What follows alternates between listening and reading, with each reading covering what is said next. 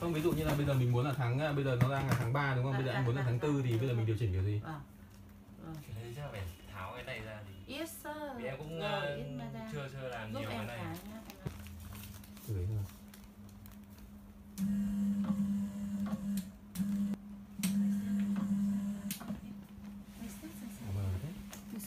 Thế cái, cái ngày sản xuất này thì là mà, mà cái tháng 3 2016 này thì ai ai ấy?